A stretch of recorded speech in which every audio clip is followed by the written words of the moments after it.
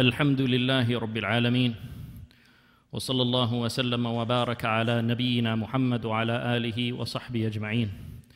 رب اشرح لي صدري ويسر لي أمري واحلل عقدة من لساني يفقه قولي. اللهم علمنا ما ينفعنا وانفعنا بما علمتنا وزدنا علما. inshallah tonight we will start with the biography of the Prophet Muhammad sallallahu alaihi wasallam, the seerah of Rasulullah sallallahu alaihi wasallam. And there are so many benefits in studying the life and the mission and the struggles of our beloved Prophet Muhammad sallallahu alaihi wasallam. And the fact that Allah subhanahu wa ta'ala sent him as a messenger for this ummah. And Allah subhanahu wa ta'ala chose to send a man, a human being, instead of an angel. It shows that we are required to emulate him and to follow his example. Because if Allah subhanahu wa ta'ala had sent an angel as a messenger instead, then the human beings would say, okay, these are angels, they're able to do what we are not able to do. But because Allah subhanahu wa ta'ala sent a messenger, we are required to follow him and we have no excuse not to follow him. And his example is the best example. لقد كان لكم في رسول الله أسوة حسنة لمن كان يرجو الله واليوم الآخر وذكر الله كثيرا. Surely you have in the messenger of Allah a good example for those who desire Allah and the last day and those who remember Allah subhanahu wa ta'ala often. So by studying the seerah, the life of the Prophet sallallahu we learn how to follow in his footsteps. By knowing how he lived his life, we know how to live our life. And another benefit in studying the seerah of the Prophet sallallahu is it is something that acts as such a boost to your iman. When you read about the Prophet ﷺ and the different incidents in his life, the way he received revelation, the way he dealt with people, the way that he struggled for this ummah, just reading about his life, it just increases you in love for him. Nobody can read the seerah of the Prophet ﷺ and not increase in their love and respect for him. And this even goes for people who are not Muslims. Any non Muslim who reads about the life of the Prophet ﷺ, wallahi, they will not be able to read it except with an increase of respect and honor for him that they hold in their hearts. And this is something that is easily visible. Even the non-Muslims who study about the life of the Prophet Muhammad ﷺ, they have nothing but praise for him and respect for him. So this is one of the great benefits of studying the seerah of the Prophet ﷺ, is that in, in, it increases our love for him. And loving the Prophet ﷺ is part of our iman. And you cannot have true, complete iman unless you love the Prophet ﷺ. And by loving him, I mean you love him more than your father, you love him more than your mother, you love him more than your children, you love him more than your spouse. You love him even more than you love your own self. You love him even more than you love your own self. And the Prophet ﷺ said, لا يؤمن أحدكم حتى أكون أحب إليه من والده وولده والناس أجمعين. None of you will have true, complete iman until he loves me more than he loves his father and his child and all of mankind. So studying the seerah, Studying the life of the Prophet ﷺ is one guaranteed way to increase in your love for the Prophet ﷺ. Another great benefit of studying the seerah of the Prophet ﷺ and studying his life is that it helps you to understand the Quran. The Quran is the word of Allah subhanahu wa ta'ala as was revealed to the Prophet Muhammad sallallahu alayhi wasallam. But how do we see the Quran in practice? How do we see the Quran actually being implemented? We see it through the character of the Prophet Muhammad sallallahu alaihi wasallam. We see its implementation in the life of the Prophet sallallahu alaihi wasallam. One time some people came to Umm al-Mu'mineen, Aisha radiallahu anha, and they asked her, how was the character of the Messenger of Allah sallallahu alaihi wasallam? How was the khuluq? of the Prophet ﷺ. And then she answered them by saying, Don't you read the Quran? Don't you read the Quran? Why do you need to ask me this question? If you read the Quran, you will know the answer to this question. كان خلقه القرآن. His character was the Quran. So if you want to see the actual practical implementation of the Quran in someone's life, then you look at the life of the one to whom it was revealed, the Prophet Muhammad sallallahu alaihi wasallam. Another thing is that there are some ayat in the Quran that you will not be able to fully understand unless you know the situation or the, li- the time in the life of the Prophet ﷺ that that ayah was revealed. For example, Allah subhanahu wa ta'ala says, إِنَّكَ لَا تَهْدِي مَنْ أَحْبَبْتَ وَلَكِنَّ اللَّهَ يَهْدِي مَنْ يَشَاءُ Allah subhanahu wa ta'ala revealed this ayah to the Prophet sallallahu alayhi wasallam. إِنَّكَ لَا تَهْدِي مَنْ أَحْبَبْتَ Surely you do not guide whom you love. Surely you cannot guide the one whom you love. وَلَكِنَّ اللَّهَ يَهْدِي مَنْ يَشَاءُ But Allah guides whomever He wills. This is an ayah, and what I just said is the translation of that ayah. But to fully, really comprehend the gravity of this ayah, you have to know what the situation was when it was revealed. The uncle of the Prophet Muhammad sallallahu alaihi wasallam, Abu Talib. Abu Talib defended his nephew, the Prophet sallallahu. He defended him from harm. Abu Talib, he was one of the leaders of the Quraysh. He was a very powerful man. So when anyone wanted to harm the Prophet Muhammad sallallahu alaihi wasallam for his da'wah, Abu Talib would be a shield in between that person and the Prophet wasallam. He would not let anyone touch his nephew, even though he didn't become a Muslim. Abu Talib did not accept Islam because he didn't want it to be said about him that this person left the religion of his father and his grandfather. He didn't want that to be said about him after he passed away. So he defended the Prophet ﷺ and he helped him a lot throughout his period in Mecca.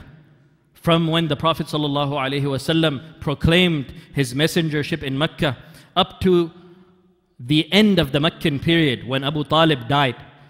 Abu Talib was a great help to the Prophet ﷺ. So of course the Prophet ﷺ had this honor and had this love for his uncle. First of all, he's his uncle. He's a blood relation. And secondly, he helped him so much.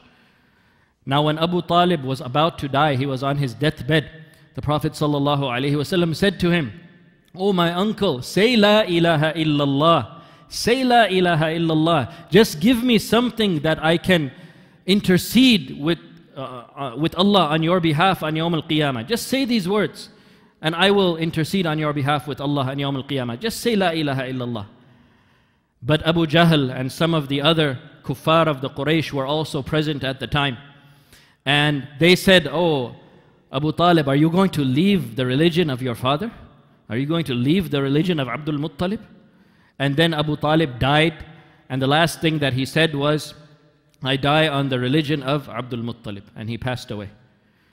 So, how do you think the Prophet ﷺ felt about that? Of course, it was very saddening to him. It really, really caused him a lot of pain to see his uncle die in such a way on disbelief. And then Allah subhanahu wa ta'ala revealed this ayah. إِنَّكَ لَا تَهْدِي مَنْ أَحْبَبْتَ وَلَكِنَّ اللَّهَ يَهْدِي مَنْ يَشَاءُ Surely you cannot guide whom you love, but Allah guides whom He wills. Now think about it.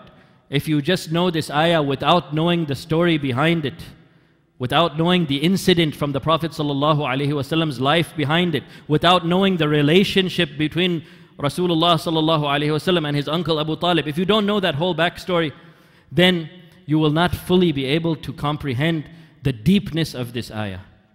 That's why it's important to study the seerah of the Prophet ﷺ, to study his life, to study his interactions with other people, to study the different situations that happened in his lifetime. And only through this will you fully be able to understand the Quran. So this is very important benefit of seerah as well. And the ilm, the knowledge of asbabun nuzul, the knowledge of the reasons for revelation. Why were certain ayat revealed? What was the situation that Allah subhanahu wa ta'ala chose to reveal these ayat? This science of the reasons of revelation, it is part of the seerah of the Prophet sallallahu alaihi wasallam. And when you study that and when you understand that, it will give you a fuller and more, com- more comprehensive understanding of the Quran itself. Now, many teachers, when they start teaching lessons about the seerah of the Prophet ﷺ, they may start with their starting point at the birth of the Prophet ﷺ. But to really give a more comprehensive idea of the society that the Prophet ﷺ came into, it's important that we don't start at his birth, but we have to start before his birth.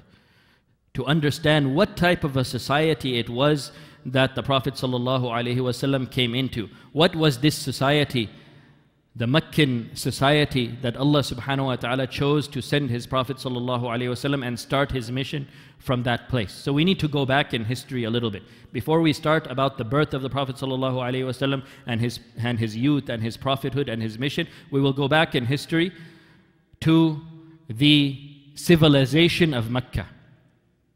We have to talk about the early beginnings of Meccan society and civilization in Mecca. And that traces back all the way to the time of Abu al-Anbiya, the father of the prophets, Ibrahim alayhi salam.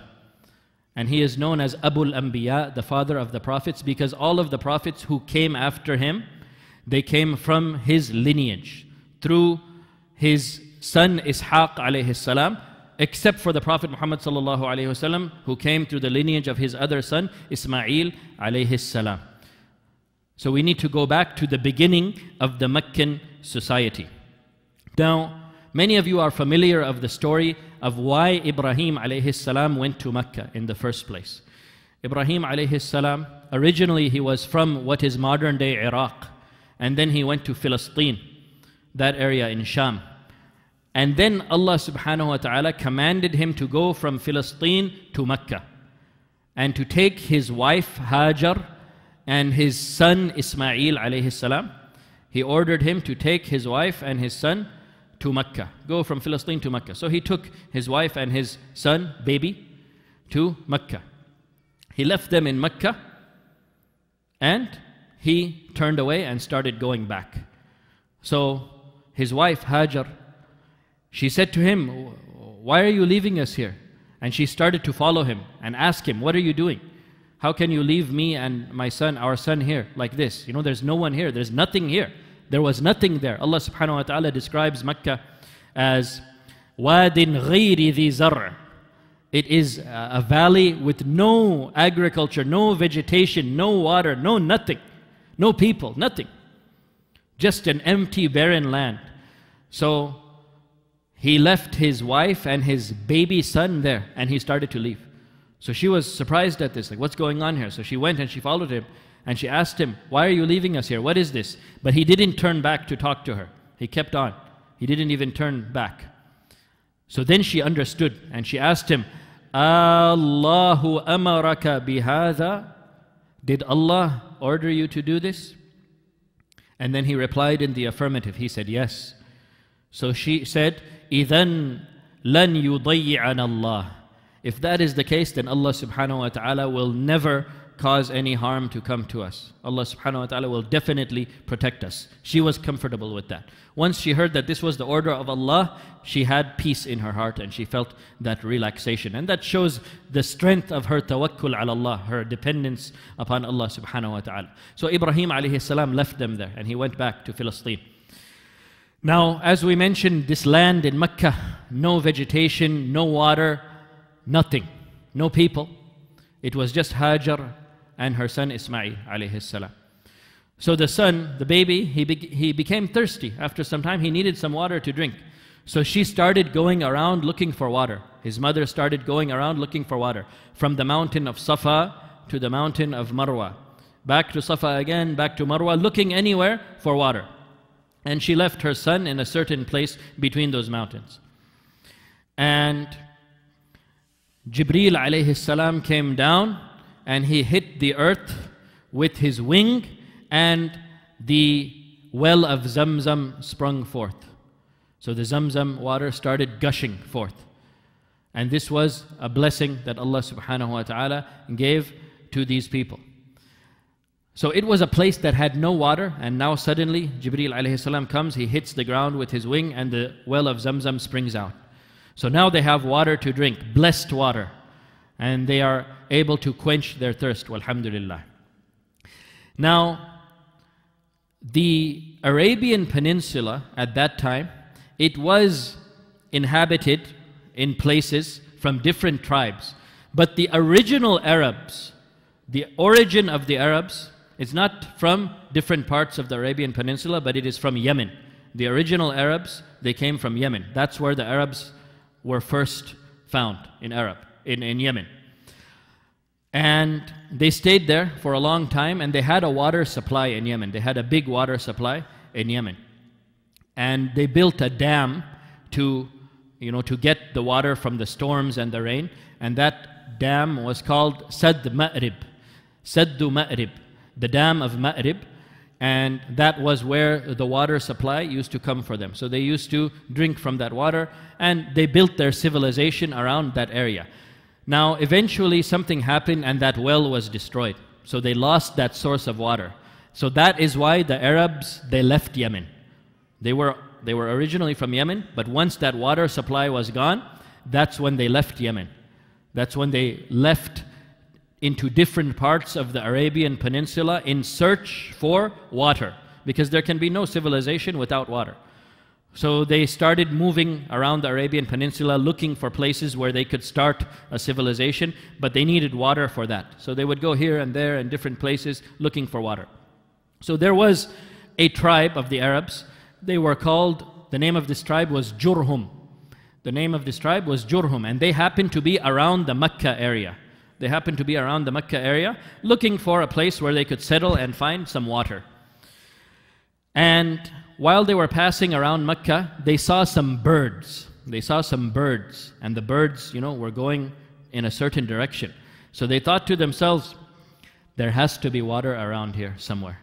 Because there, there's no way that there can be birds flying around this area, except that there has to be water here, because birds need water too. So they decided to investigate this. So they looked to where those birds were actually going, and they followed it, and they found Hajar and Ismail alayhi salam. And they found that well of Zamzam, this tribe called Jurhum. And they were honorable people, they were good people. They were people who were noble in their character. So they, they could have, you know, it's just one woman and a baby. They could have easily, you know, took control and kicked them out or did whatever they want, but they saw that, know, this, this well belongs to this woman and her son. We don't have any right to take it without her permission. So they asked for her permission. They said, We would like to build our city around here. We would like to stay here because there is water supply here. Uh, but this is your water. But we would like to, you know, pay you a rent so that we can use this water as well. And we would like to stay here. So she said, Okay, Alhamdulillah. So they started paying her for the use of that Zamzam water. So this was a source of rizq for her. This was a source of of provision for her and her son, alhamdulillah, and they had their water as well. And the civilization started to flourish, walhamdulillah. So, Ismail alayhi salam grew up in this kind of a society. He grew up amongst the tribe of Jurhum. Now, Ismail alayhi salam and Ibrahim alayhi salam, they were not actually Arabs. They were not from Yemen. They were not from this place. They were not Arabs. They came from Philistine area. But when Ismail alayhi salam settled in Mecca, you know, he, he got married to a woman from the tribe of Jurhum as well. So the children of Ismail alayhi salam are known as Arabs who were, in Arabic they say musta'arab, meaning they were not originally Arabs. Ismail alayhi salam was not originally Arab, but he became Arab by settling there, by marrying into the Arabs, and by living there in Mecca. And he learned Arabic. Arabic was not his language. But because he was born and brought up there in Mecca amongst the Arabs, this tribe of Jurhum, he learned Arabic as well. So this was the beginning of civilization in Mecca. Now Ibrahim alayhi salam, we said he went back to Philistine, but he would come every so often and visit his son, Ismail alayhi salam. So he would come and visit every so often and then go back. Come every so often and go back. And eventually, Allah subhanahu wa ta'ala ordered him to go back to Mecca and to take his son Ismail alayhi salam and to build a house of worship for the worship of Allah subhanahu wa ta'ala alone. So Ibrahim alayhi salam and his son Ismail alayhi salam, they built the Kaaba in Mecca upon the foundations of the Kaaba that was originally built by Adam alayhi salam. And the Kaaba is the first house of worship that was built for the worship of Allah subhanahu wa ta'ala and it was built in the time of Adam alayhi salam. Inna awwala baytin wudi'a lin-nas lalladhi bi Bakkah. Surely the first place of worship for the worship of Allah subhanahu wa ta'ala alone, it was in Bakkah or Mecca. And that was built by Adam alayhi salam. But eventually, over time, that was destroyed. But the foundations remain. So Allah subhanahu wa ta'ala commanded Ibrahim alayhi salam with his son Ismail alayhi salam to rebuild the Kaaba upon the foundations of Adam alayhi salam. And at this time, when they were building the Kaaba, Ismail alayhi salam, he was a young, he was a teenager. He was around 16 years old. So, you know, a, a young man helping his father build a house of worship for Allah subhanahu wa ta'ala alone. So when he wanted to start the construction, Ibrahim alayhi salam wanted to start building the Kaaba, he wanted a, a nice strong stone to start the construction from the corner. So he sent Ismail alayhi salam, go find a good stone you know, a good strong stone that we can use to start this structure in the corner here. So Ismail alayhi salam went around looking for a stone, but he didn't find anything that was, you know, appropriate for what his father wanted to do. So he came back to tell his father, I couldn't find anything, but when he came back, he saw that his father had the stone. So he asked his father, Where did you get this stone? And then he said, Allah subhanahu wa ta'ala sent it to us. This is from Allah subhanahu wa ta'ala. And that is Al Hajar al Aswad. That is what is now known as the black stone. But at that time it was not black, it was actually a white stone. But over time, with the sins of the people, it became black. So that's how they started the construction of the Kaaba. They put that stone in the corner and they started building the Kaaba, layer by layer. And Ibrahim alayhi salam, throughout the construction, he had one, you know, one stand that he would stand upon to look at the Kaaba a little bit from the back during the phases of construction to make sure everything is straight, to make sure nothing is getting crooked. So he would take that, you know, elevated piece and he would take it a little bit far back, not so close to the Kaaba, but he would put it back. And then he would stand upon it to look to make sure that the construction is going properly and it's being built straight. And that is known as Maqam Ibrahim, the place where Ibrahim alayhi salam stood. And he used to stand there to make sure that the construction was going properly. And Allah subhanahu wa ta'ala commands us, وَاتَّخِذُوا مِن مَقَامِ إِبْرَاهِيمَ مُصَلَّى And take the maqam, take the standing place of Ibrahim alayhi salam as a place of prayer. And if you go to Mecca now, you will see the position of that maqam Ibrahim. It's not so close to the Kaaba. It's a little bit far back because Ibrahim alayhi salam used that to see, to get a good view of the construction of the Kaaba. Now, once he finished building the Kaaba, then Allah subhanahu wa ta'ala gave him a command. Allah subhanahu wa ta'ala commanded Ibrahim alayhi salam, وَأَذِّن فِي النَّاسِ بِالْحَجِّ وَأَذِّن فِي النَّاسِ بِالْحَجِّ Now call the people to make pilgrimage to this house. So Ibrahim alayhi salam, he was surprised. He was saying, he said, I can call to it, I can call, but how are the people going to hear me? Who is going to come? Who is going to hear me? Then Allah subhanahu wa ta'ala replied to him, Innama alayka al-adhan wa alayna al Surely the call is upon you. We are commanding you to make the call, but the, the reaching of that call to the people, that's upon us. You don't worry about that. You just call and I will make sure that that call is heard. So Ibrahim alayhi salam, he goes to Arafat and he goes on Mount Arafah and he makes the call to Hajj. He calls the people to Hajj. And Allah subhanahu wa ta'ala makes that call heard around the world, in the east and the west. Everybody hears it. And they answer that call. They start answering that call. And people come from all over the place to make the Hajj, to make the pilgrimage to Mecca. And Allah subhanahu wa ta'ala put in the hearts of the people love for this house, love for the Kaaba. So people would come from everywhere and make the pilgrimage to the house of Allah subhanahu wa ta'ala, worship Allah subhanahu wa ta'ala alone, and they would they would love this place. Allah subhanahu wa ta'ala put that love of the Kaaba in the hearts of the people.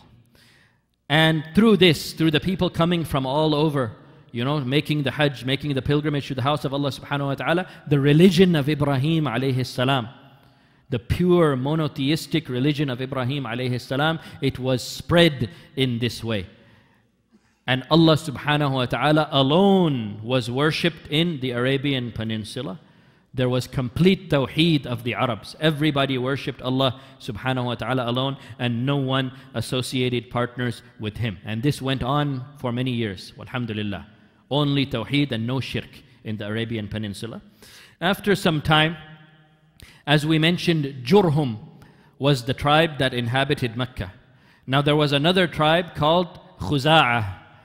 And after some years, Khuza'ah and Jurhum, they got into a fight. They got into a battle over who should have control of Mecca, who should have authority of the house of Allah, and who should have authority over Mecca.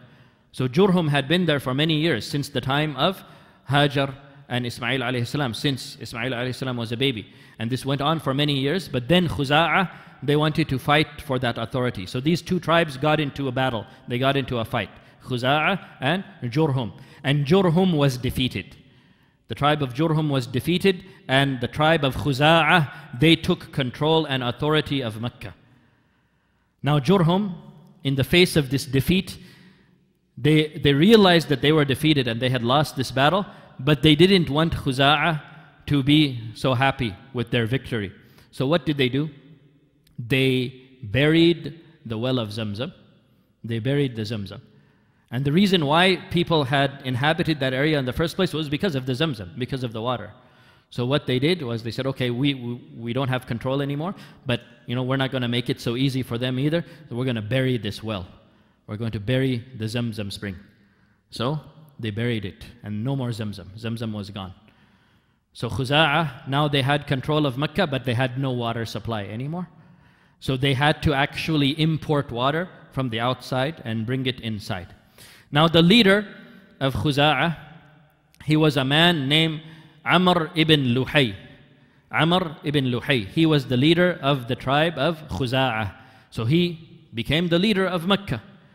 And he was a man who was very well respected by the people. Nobody disobeyed him. If he said anything, the people would obey him immediately without question.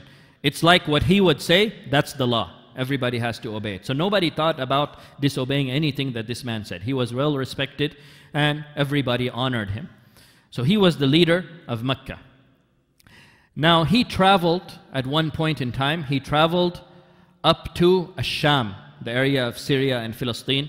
And when he was there, Amr ibn Luhay, when he traveled there, he saw a group of people, a group of people called the Amaliq. These people called Amaliq. And he noticed that they had idols, stones, that they used to worship besides Allah subhanahu wa ta'ala. They used to worship different stones. So Amr ibn Luhay, as we mentioned, in the Arabian Peninsula, there was no shirk. Everyone worshipped Allah subhanahu wa ta'ala alone. But when he went up there to Sham, then he saw these people worshipping these stones and stuff. So he was surprised. He never saw anything like this before. So he said, What are these things that you are worshipping? What is the purpose of this? They said, Yeah, these are, you know, these are our idols. When we're hungry, you know, they provide us with food. When we are in a state of fear or we are oppressed, then they help us. When we are thirsty, when we don't have anything to drink, they provide us with water. So then he said, Oh, really? He was surprised at this. So then he said, Can you give me one? Can I have one? Because we have a water problem in Mecca, you know. There's no more Zamzam anymore. We need water. We have to get water from outside. So you're saying that these things, if you pray to them, they'll give you water. So can I have one? I'll take it back to Mecca and maybe we can get some water too? They said, Yeah, sure. They gave him an idol. They gave him an idol, and the name of this idol was Hubal. And he brought this idol back with him to Mecca. This is the first idol that came into the Arabian Peninsula, the idol that was known as Hubal. So when he comes back to Mecca with this idol in his hand, And as we mentioned before, Amr ibn Luhay, he is a person who is obeyed by the people. He comes back with this idol and he tells the people, worship this idol. And they, they, they obey him immediately. They start worshiping the idol. And that is how shirk came back into the Arabian Peninsula. There was no shirk in the Arabian Peninsula, and this is the man who brought it back, Amr ibn Luhay. So he orders the people to start worshiping this idol. They start worshiping the idol. Over time, he brings more and more idols. He assigns one idol for each tribe. There are different tribes that are around, and he gives each tribe an idol. So they start worshiping these idols at the Kaaba, at the house of Allah subhanahu wa ta'ala. And like we mentioned, the Hajj had been going on from the time of Ibrahim alayhi salam's call. Now, it was still going on during the time of Amr ibn Luhay, but he changed the talbiyah. You know the talbiyah, and we still say it today, labbaik Allahumma labbaik, labbaik la sharika laka labbaik, inna alhamda wa ni'mata laka wal mulk la sharika lak. Now, he added a few words to this. At the end, he said, لا شريك لك إلا شريكا هو لك تملكه وما ملك. At the end he said, لا شريك لك. Oh Allah, you have no partner except for the partners that you have, but you own those partners and you own what those partners own. So he said, yes, Allah subhanahu wa ta'ala is still the highest one, but he has certain partners, but he is the owner of what those partners own as well. And he's talking about the idols here. So this is how he introduced shirk. Even into the call for Hajj, he introduced shirk into that as well.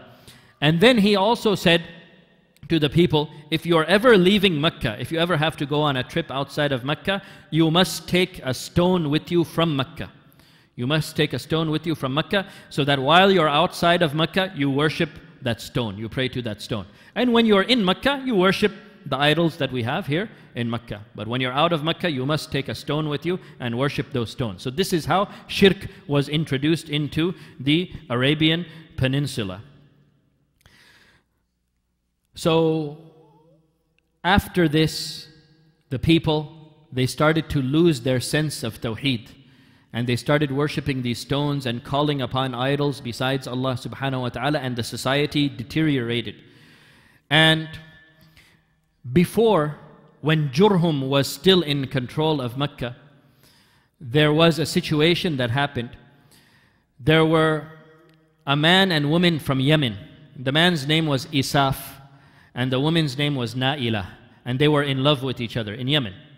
So Isaf went to the father of Na'ila and proposed to her, asked for her hand in marriage. But the father of Na'ila refused, he rejected him. So Isaf and Na'ila, they were very sad about this. They really wanted to get married. So they made a plan. They said, okay, look, everyone is going for Hajj.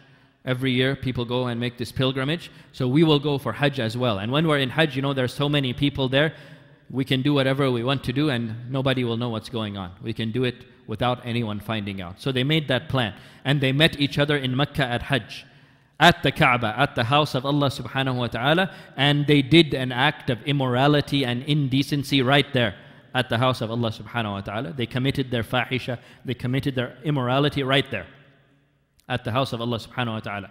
So to punish them, Allah subhanahu wa ta'ala turned them into stones. He turned Isaf and Naila into stones. Isaf became a stone and Naila, she became a stone as well. So the people, what they did, and this was before shirk came into the Arabian Peninsula. This is still during the time of uh, when Jurhum was in charge, before Amr ibn Luhay. So what the people did with those stones, just so that people will have a reminder that this is what happens when you disobey and disrespect the house of Allah subhanahu wa ta'ala. This is what happens to you.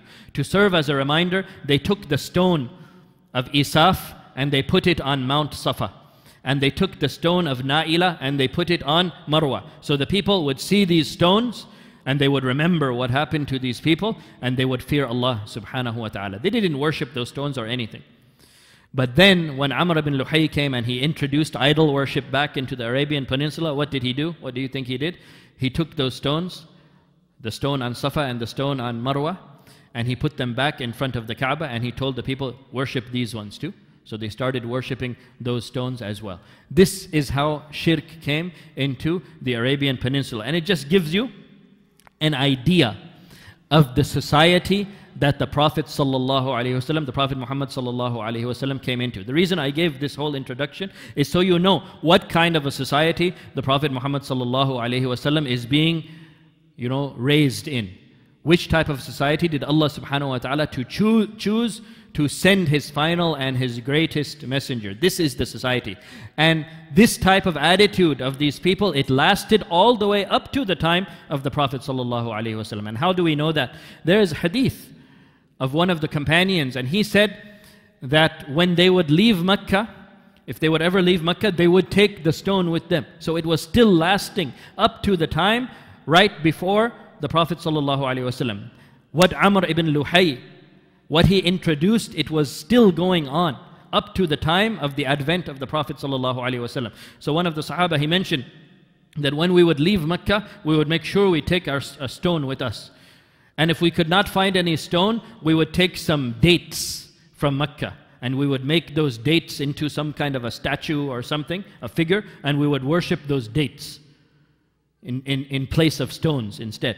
So he mentioned, he said, like, and you know, eh, they realized it after they became Muslims, they realized how ridiculous this was. They said we would take those dates sometimes and make figurines or statues out of them, and when we were outside of Mecca, we would worship that, we would pray to it, but then we would get hungry and we would find nothing else to eat, so we would eat our God. We would eat what we were just worshiping, just to show the ridiculousness of this type of a belief. This is the Jahiliyyah society that the Prophet Muhammad came into. And the reason why we gave this introduction is so you can see throughout the course, inshallah, how Allah subhanahu wa ta'ala, through the Prophet Muhammad sallallahu how he turned these people from the worst of people to the greatest generation of people that mankind has ever seen, the Sahaba, mashallah. How Allah subhanahu wa ta'ala turned them around 180 degrees through his messenger Muhammad sallallahu alaihi wasallam. And it's important to understand what kind of society it was so you can see the effect that the Prophet sallallahu alaihi wasallam had on that society. And inshallah we will talk about that and we will continue to talk about the effects of the Prophet Muhammad sallallahu alaihi wasallam and his birth next week inshallah. Wallahu a'lam wa sallallahu wa sallam wa baraka ala nabiyyina Muhammad wa ala alihi wa sahbihi ajma'in.